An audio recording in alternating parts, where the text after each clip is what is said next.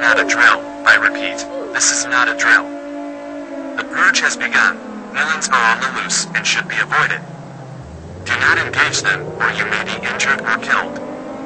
Games are being invaded and destroyed. I repeat that this is not a drill. Stay inside, protect your families. Keep doors locked and windows closed. Use boards to secure your windows and doors. Their leader is Scary Larry.